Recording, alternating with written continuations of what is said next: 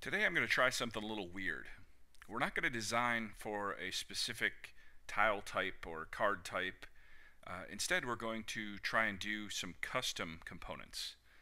Uh, so the Game Crafter allows for uploading uh, custom punchouts where you would upload the design that you want it to print and then also a shape where you would cut that. And uh, that's what I want to try and do in Component Studio today. So if we look at uh, this file here, this is the cutting pattern that we're going to use. This tile was actually divided into two segments, so there will be kind of a top area up here and then a bottom area down here. For the purposes of gameplay, it'll be divided into two. It'll actually still be one tile as far as cutting, that's why there's not a cut line down the middle. We want to design something along that pattern. Now you'll note that it goes which every which way a little bit and so this is going to be tricky. What I've done is I designed a data set that kind of mimics that. So I have A1 and A2 so that'll be the top and bottom of the first tile B1, B2, the top and bottom of the second one, C1 and C2 will be the top and bottom of the third tile. So this is our component data set. Now, if we go into designs, we'll actually try and build this episode 4 tiles. And what we want to go down to here is sets of small punch outs. I want to do a custom small punch out. Uh, I want to actually turn this, I, because these tiles are going to be written uh, horizontally, um, so if we look at the tile again, the, the text will actually be written from here to here and then you know keep going like that. So if I work with this horizontally, that will make it a little easier. So I'm going to actually hit this uh, button here to turn it. And so now uh, it will rotate that whole thing horizontal and make it easier for me to work on. Now we want to go add our background. So I'm going to hit add image uh, and we'll hit folders episode 4 tiles and throw our image in there. Now I need to rotate the image because we had it, uh, you know, we're rotating our tile here so it's not lined up the way it was supposed to be. Uh, so I'm going to rotate that 90 degrees and then we want uh, our image to actually be centered.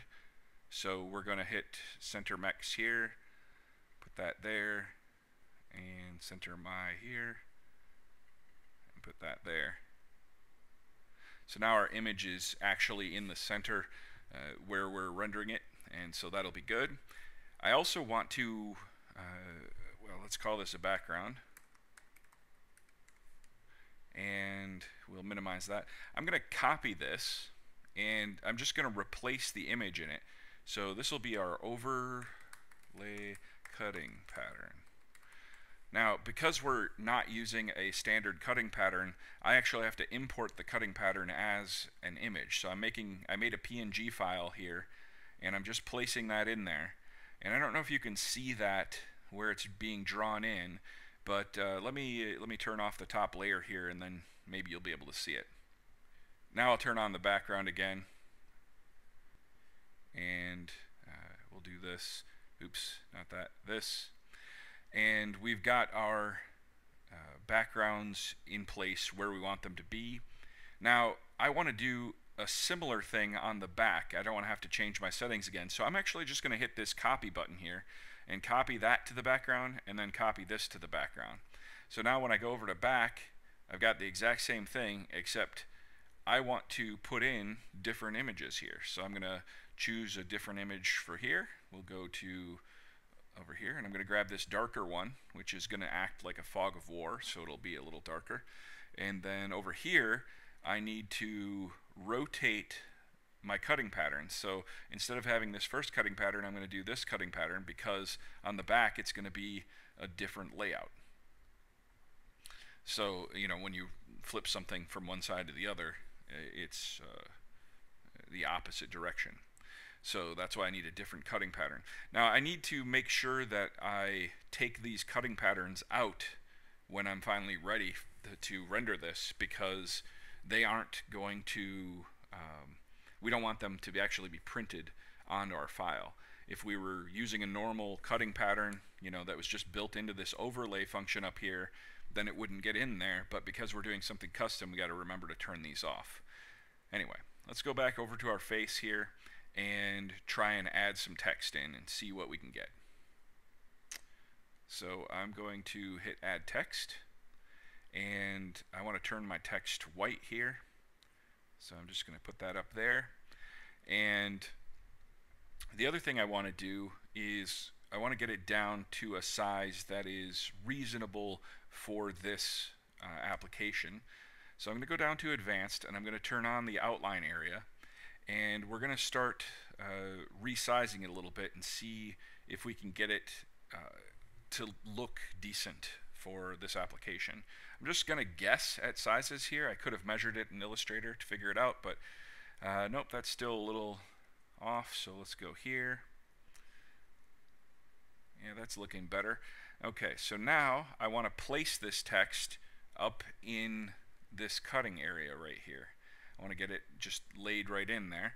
So I'm going to uh, place it by moving this. I'm going to say 100 pixels, and I'm again I'm just guessing.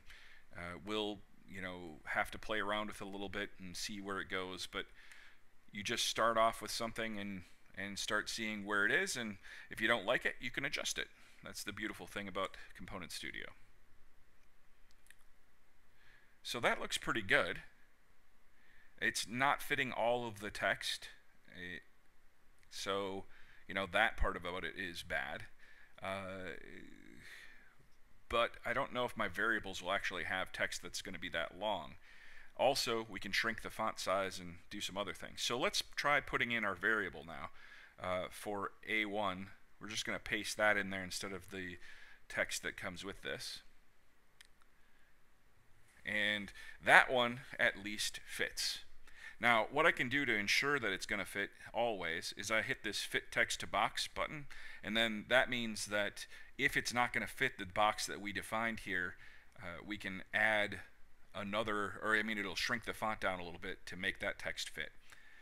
Now, I'm thinking that I need to name this to the A1 slot, and we want to um, copy this over. So I'm going to minimize that and I'm going to duplicate. And we want to do an A2 slot. I'm going to change this variable to A2. And this one doesn't have any text for A2, so let's see if we can find one that has some text for A2. Let's move this down a little bit so that we know that we're talking about the same thing.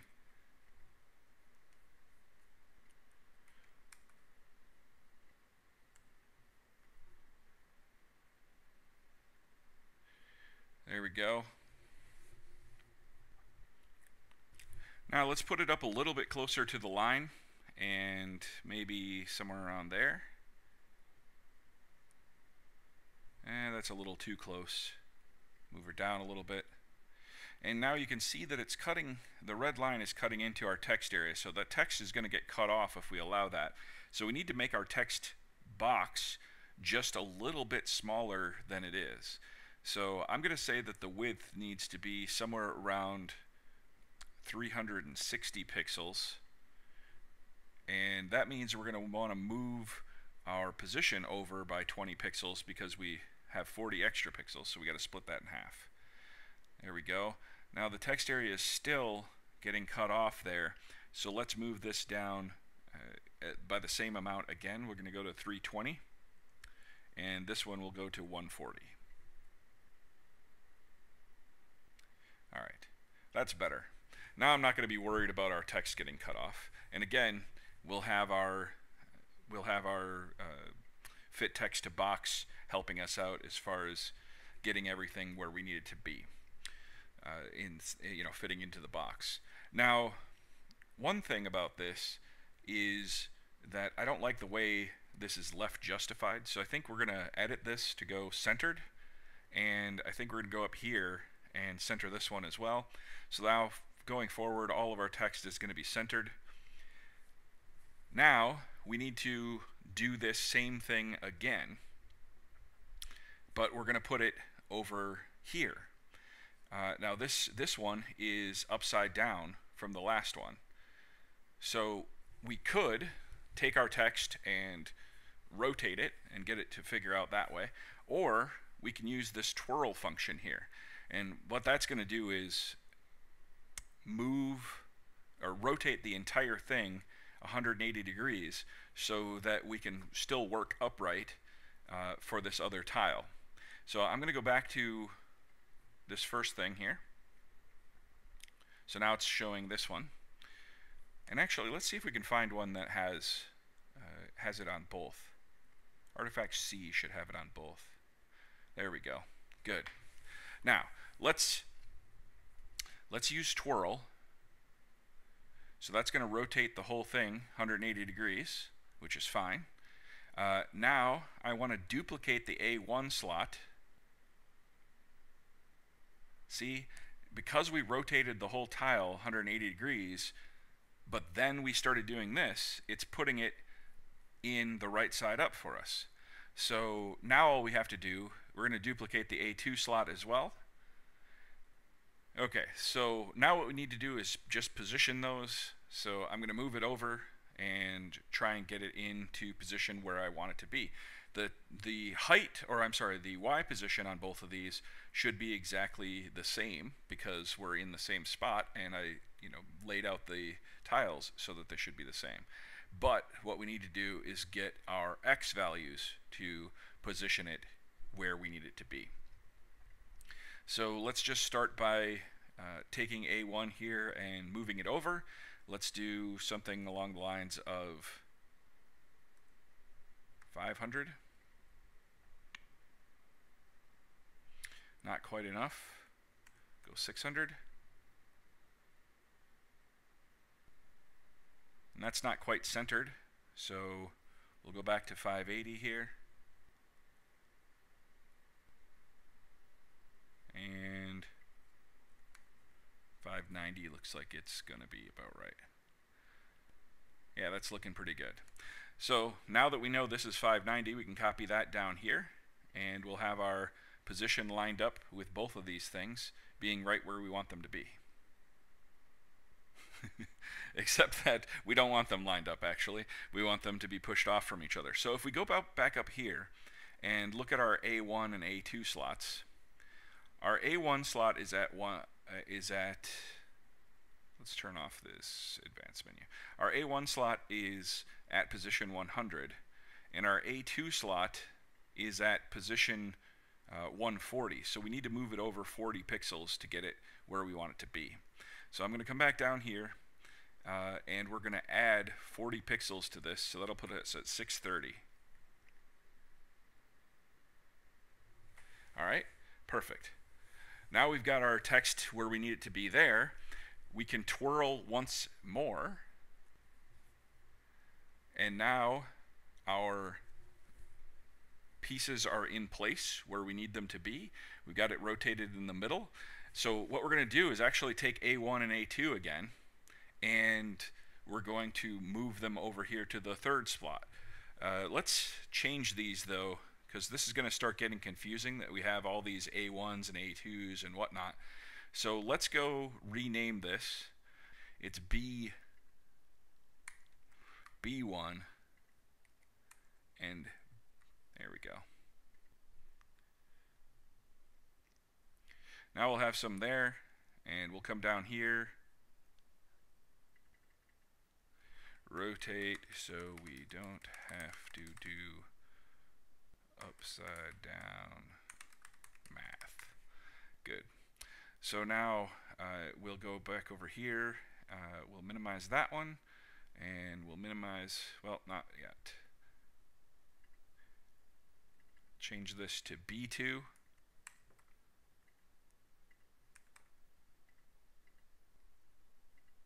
Now we'll minimize it.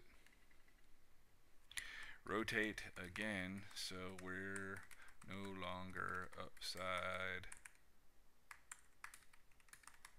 Good. All right. So now we've got all of those pieces in place. What we can do is actually copy A1 and A2 again and put them over here. So I'm going to duplicate that. Like so.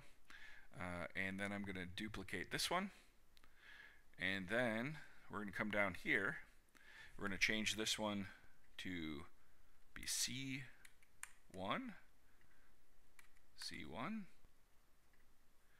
and change this one to be C2 and C2, like so. And then we want to position those uh, over a little bit. So we're going to get over here and set our position again. This time we'll go maybe something like 900. See where that puts us. Not quite far enough. Let's try 1200.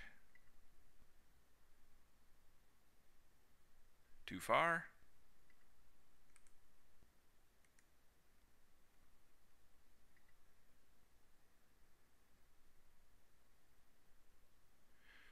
All right, let's do something like 1050.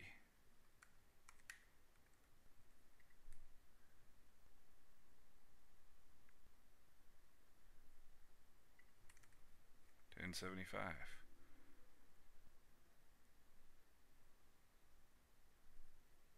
Ten eighty.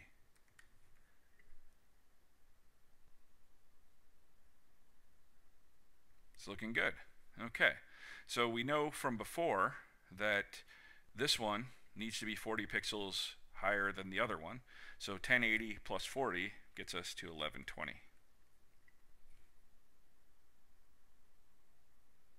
Good.